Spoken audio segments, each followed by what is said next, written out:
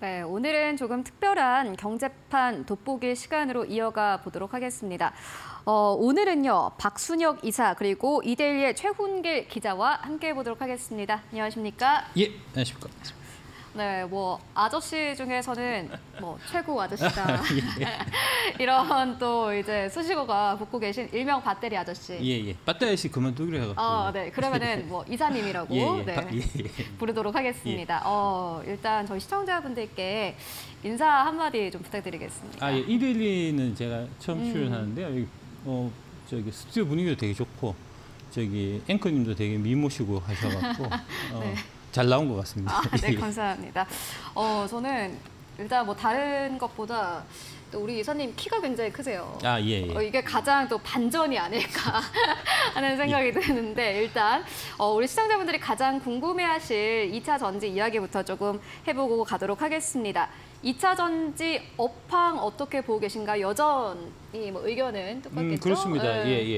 요 부분은 이제 2022년 1월 달에 이제 LG 에너지 솔루션 상장을 앞두고 LG 엔솔의 그 권영수 부회장님이 한번 말씀하신 적이 있는데 네. 어, 배터리 산업은 미래를 예측하기가 너무나 쉬운 산업이다. 음. 왜냐하면 36개월 전에 이제 선주문을 받아서 그 선주문을 바탕으로 해서 움직이기 때문에 어, 3년 뒤에 거는 다 나와 있어요. 음. 그러니까 어, 3년 뒤에 주문 받아 놓은 거를 기준해서 보면은 이제 그 K 배터리가 어, 중국 배터리를 지금 압도하고 있는 상태거든요. 음. 그러니까 지금 최근에 얘기 나오는 게 이제 한 어, 그 수주 잔량이 지금 천주를 넘어서고 있다. 그다음에 이제 한국에 좋은 배터리를 받기 위해서 글로벌 자동차 메이커들이 이제 줄을 서 있는 그런 상태고요. 그러니까 물량은 다 그 고정이 돼 있는 거고 다만 한 가지 변수는 이제 가격인데 가격은 이제 원자재 가격이 연동되는 형태가 되기 때문에 이제 원자재 중에서도 리튬이나 니켈 같은 부분에 이제 가격 변동이 제일 중요한데 특히 리튬이 중요하겠죠. 음. 근데 이제 중국의 탄산 리튬 가격이 어 4월 24일 날 152위안을 이제 저점으로 해서 지금 6월 10일 날 이제 300위안까지 올라왔어요. 그러니까 두배 정도가 지금 상승한 상태거든요. 그러니까 가격 자체에서도 이제 지금 상승세에 접어들어 있는 상태이기 때문에 이거는 뭐 좋을 수밖에 없는 거죠.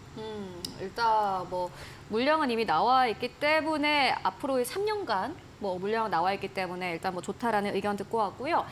또 최은길 기자님께서는 최은길 기자는 앞서서 뭐 박순혁 이사와의 뭐 인터뷰 기사도 여러 내신 바 있고 그렇다면은 여러 가지 좀 현장의 이야기들을 들으실 텐데 2차 전지 업황 현재 뭐 나오는 목소리들 어떤가요? 예, 그 4, 5월에 그 네. 박 이사님하고 인터뷰를 했을 때요. 그때 증권가에서는 너무 많이 이제 올랐다. 그런 의견 때문에 좀 매도 리포트가 나오기도 했고요. 네. 근데 그때 이제 그 박 이사님이 이데일리 인터뷰에서 지금은 매도할 타이밍이 아니다.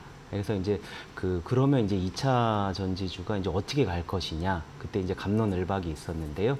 오늘 이제 그 방송 출연하기 전에 그러니까 최근 들어 2차 전지주 향배가 어떻게 됐는지 실제적인 데이터를 좀 가져와 봤습니다. 네. 그러니까 이번 달에 6월 1일 종가 대비해서 어제 이제 종가를 이제 비교를 했는데요. 그때 8개 종목에 대한 이제 관심이 높잖아요. 그러니까 그 이사님께서 K 배터리 Revolution 네. 저서에서도 언급하신 그 종목의 주가가 어떻게 됐는지 6월 들어서 수치를 보니까요. 그 수치를 말씀드리면 LG 에너지 솔루션은 4.79% 올랐고요. 그 SK 이노베이션은 3.55% 올랐고요.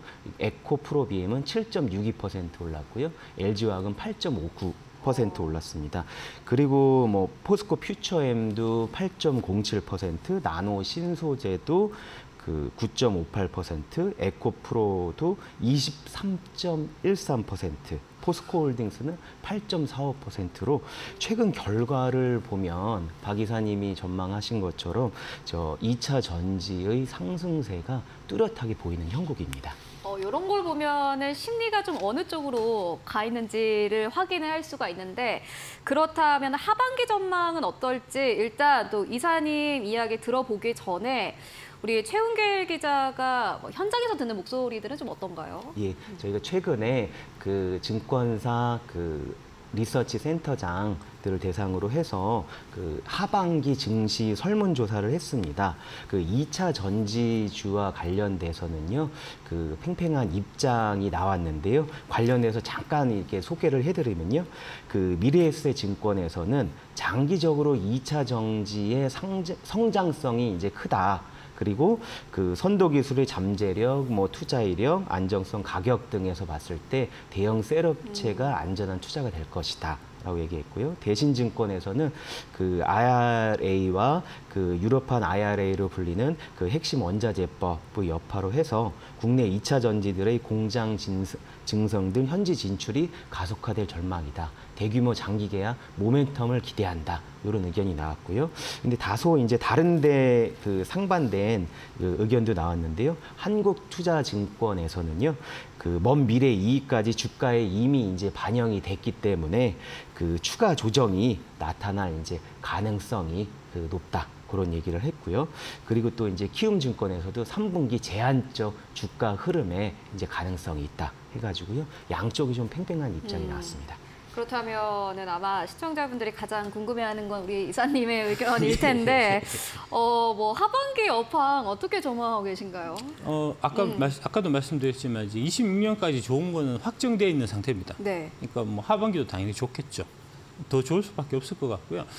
그 IRA 관련해서 이제 미국에서 본격적으로 이제 전기차 지금 출하가 이루어지고 있는데 어, 상반기에는 좀 이제 수율이라든지 이런 문제점들이 조금 있어갖고 어, 생각보다는 조금 이제 어, 전기차가 나가는 속도가 네. 어, 상당 어, 조금 좀 이제 슬로했던 부분들이 있거든요. 네. 예, 그런 부분들이 이제 수율도 잡히고 이제 본격적으로 하반기에는 좀 더 많이 나갈 걸로 보여지기 때문에 어, 좀 더 탄력을 받을 것 같습니다. 어, 하반기가 더 좋다. 예.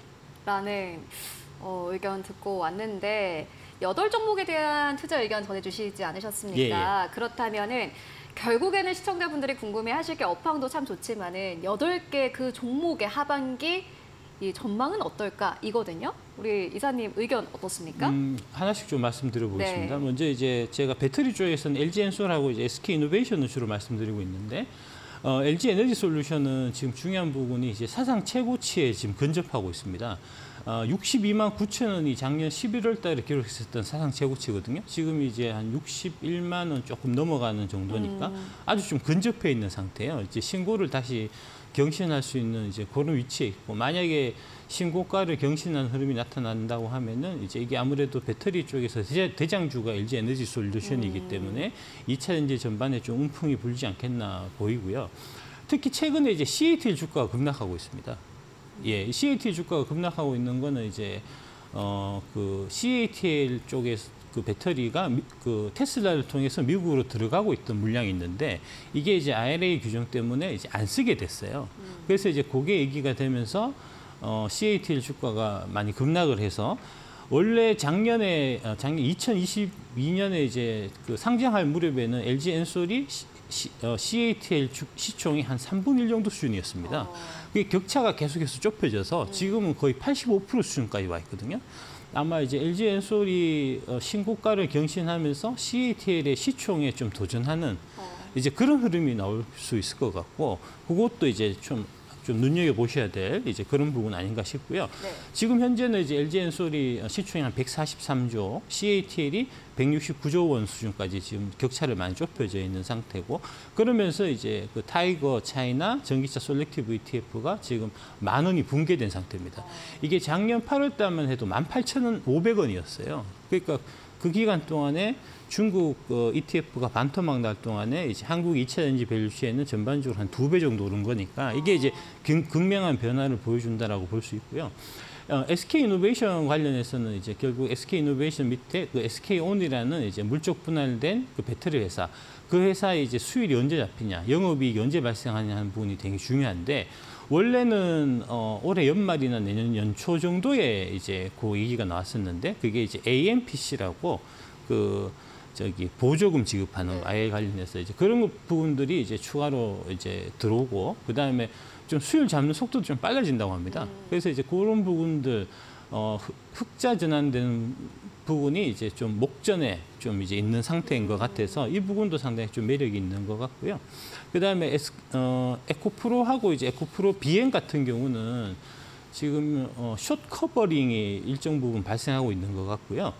어, 요게 이제 대략 에코프로 기준으로 해서 한 80만 원, 에코프로 BM 기준에서 한 30만 원 정도가 이제 넘어가게 되면은 숏 스키즈로 이제 변경될 수 있는 여지가 있어서 그렇게 되면은 상당히 좀 주가의 탄력성이 있어 보이고 어, 포스코 홀딩스를 또 좀 주목해 보셔야 되는 게 이제 4, 4분기에 그 광양에 이제 광석형 리튬 생산 공장이 완공이 되거든요.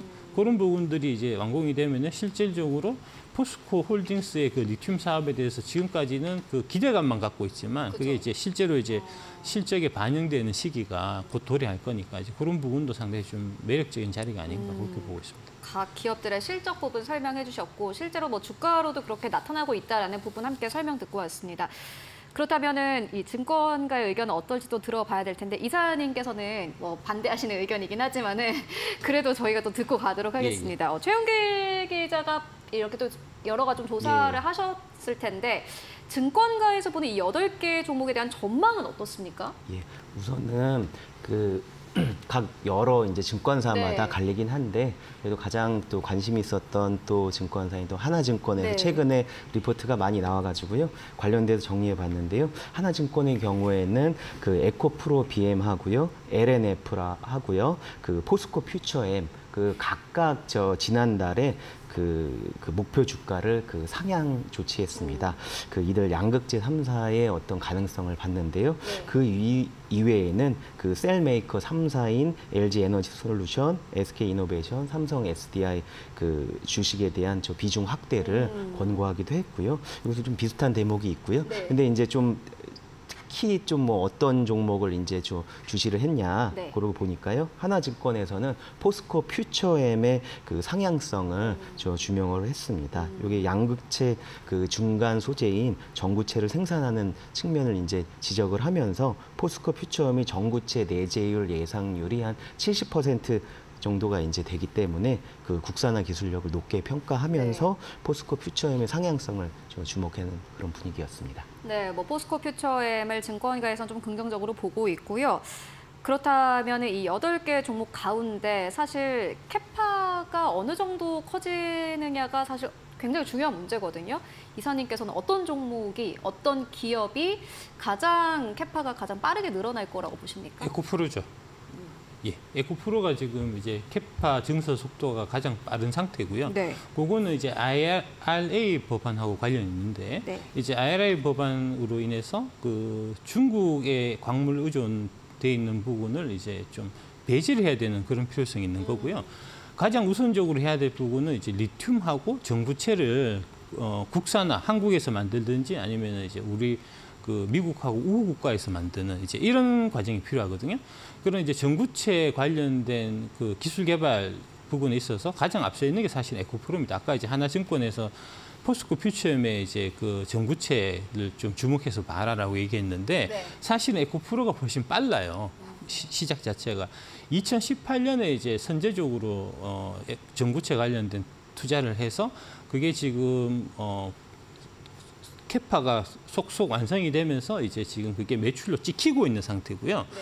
그거에 비해서 이제 포스코 그룹은 이제 에코프로 그룹에 비해서 음. 전구체 부분이 한 2년 정도 늦은 거고요. 네.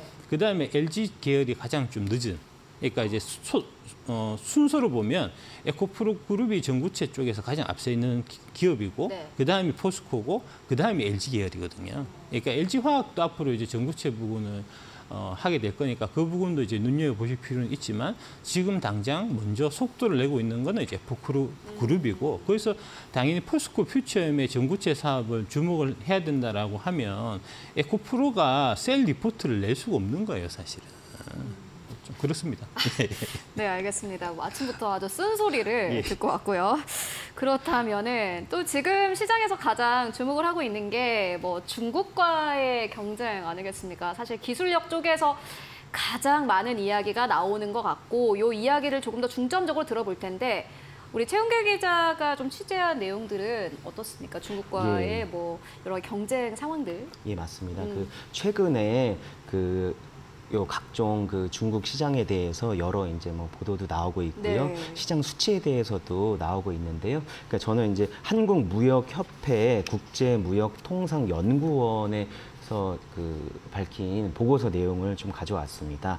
그러니까 이쪽에서 저 나온 보고서 내용은요. 중국 배터리사의 그 EU 배터리 그 시장의 점유율이 그러니까 점점 이제 좀 증가하고 있는 그런 상황에 대해서 그 보고서에서 나왔는데요. 그러니까 그 2020년에는요. 그 14점 이제 그 9% 유럽 시장의 이제 점유율이 그 정도 됐다고 하는데요. 지난해 이제 그, 그 중국 배터리사의 EU 점유율이 34.0%로 두 배 이상 저 증가했다고 하고요. 그 같은 기간에 이제 국내 이제 배터리 업계의 EU 배터리 그 시장 점유율은 68.2%에서 63.5%로. 그러니까 물론 이게 그 한국의 우리나라의 EU 배터리 시장 점유율이 여전히 이제 선두인 건 사실이지만 중국에 이제 추격이 되고 있다. 뭐 그런 그 보고서 내용이었고요. 근데 중국에서는 이제 그 동안에 이제 자국 시장에 이제 그 80% 이상을 점유하고 있었고 우리나라는 이제 그 중국 시장에 들어가는 게 좀 고전을 하고 있었는데 그 때문에 우리나라가 북미랑 그 유럽 쪽으로 많이 진출을 했잖아요. 근데 이번에는 이제 중국 쪽에서도 이제 유럽 시장 쪽에서 좀 진출한다는 그런 내용이었고요. 실제로 이게 그 CATL이 이제 독일에서 그 생산 거점을 마련하고 본격 가동에 이제 돌입하고 있다. 그런 뉴스도 이제 나오고 있고요. 그리고 최근에는 이제 헝가리에 제2 공장을 또 지을 거라는 그런 그 보도도 나오고 있습니다. 물론 또 우리나라 기업들도 지금 넉넉고 있는 상황은 아니라고 하고요. 2025년까지 그 두 배로 그 생산 설비 규모를 확대를 해서 중국의 뭐 추격에 대해서는 좀 대비하고 있는 상황이라고 합니다. 어, 이렇게 중국의 좀 유럽 쪽에서 선전을 하는 것은 한국 기업들에게는 위협이 될 수밖에 없는데 이사님께서는 예. 또 배터리의 창으로 이렇게 세상을 보시지 않습니까? 그렇다면 이 부분은 어떻게 보시는지 그리고 한국 기업들이 조금 나아가야 할 방안들 음. 조언 해주실 수 있으실까요? 아, 예. 그거는 뭐 저기 어, 걱정하실 필요가 전혀 없고요. 어? 예, 네. 아까 말씀드렸듯이 이제 이 모든 것들이 어, 3년 전에 다 수주를 받아서 그 수주를 기반으로 해서 움직이기 때문에 음. 그러니까 지금 우려하시는 부분이 뭐냐면은 이제 어, 원래는 한 15대 어, 65 정도였다가 이제 작년에 30대 65 정도로 이렇게 격차가 좁혀지니까 이런 형태로 격차가 계속 좁혀지면은 3년 뒤에 가면 이게 역전되지 않겠냐. 아. 이제 그런 걱정이신 거잖아요. 네. 근데 그걸 걱정하실 필요가 없는 게 3년 뒤에 수주가 다 나와 있다니까요. 음. 예, 3년 뒤에 이제 유럽 시장도 여전히 우리가 한 60, 60에서 70%를 먹는 이제 그 캐파, 그 주문이 이미 우리가 받아놓은 상태고 그에 비해서 이제 중국은 대략 한 뭐 20%나 30%밖에 안 되는 그 정도 수준이니까 이제 걱정 안 하셔도 되고요. 자꾸 쓸데없는 걱정을 하게 만드는 거죠. 이제 네. 여의도에서. 이제 좀 오늘 좀 어, 네. 좋게 좋게 얘기하려는데 좋게 얘기하기 좀 어려운데. 땀이 약간 나려고 하는데요. 좀 좋게 말씀해 예, 주시면 예, 예. 어, 그게 예, 그게 좋은 이제- 아침을 보내실 예, 수 있을 것 예, 같습니다. 네. 그게 이제 좀 어, 정치적인 부분이 좀 연결되는 부분이에요. 어, 네. 그러니까 어, 독일하고 원래 중국하고가 되게 이제 정치적으로도 그렇고 경제적으로도 그렇고 이제 협력 관계가 되게 돈독한 관계입니다. 음. 특히 이제 우리가 흔히 독삼사라고 얘기하는 이제 폭스바겐 그 그다음에 어, 벤츠 그다음에 아우디 같은 네. 경- 아우디 하여튼 예 독삼사 같은 경우에 네. 어, 한 해 매출이 발생하는 것 중에서 한 40에서 50%가 중국에서 나와요.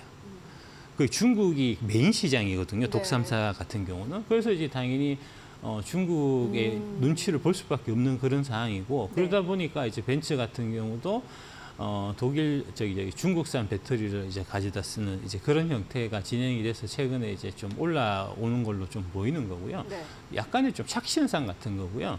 어, 뭐 이런 부분들을 이제 미국이나 그다음에 독일 이외의 기타 유럽 국가에서 이제 이거를 좀 제어를 해야 되겠다. 음. 중국이 이제 유럽 시장에 발붙이는 거를 좀 불편하게 해야 되겠다 해서 지금 어, 나온 게 CRMA 법안이거든요. 네. 그러니까 이제 어, 중국이 유럽 진출하는 것도 좀 여전히 좀 문제가 이- 있어 보이고요. 이제 여러 가지 좀 태클들이 들어올 거고 지금 일시적으로 그 올해 뭐 일, 1, 4분기, 2, 4분기에 이제 중국의 유럽 시장에서 좀 이제 성과를 좀 냈던 거는 좀 일시적인 현상 정도로 보시면 될 것 같습니다. 음, 알겠습니다. 그리고 조금 이제 생각을 바꿔서 한국 기업들이 중국 쪽으로도 진출이 가능하다라는 이야기들 나오는데 일단 현장의 목소리부터 듣고 가도록 하겠습니다. 최은길 기자는 어떻게 보십니까? 예, 그 제가 관련돼서 취재를 해보니까요. 네. 저는 제가 이제 2016년에 산업통상자원부를 제가 출입을 하고 있었거든요. 네. 근데 그 당시에 좀 어떤 일이 있었냐면요.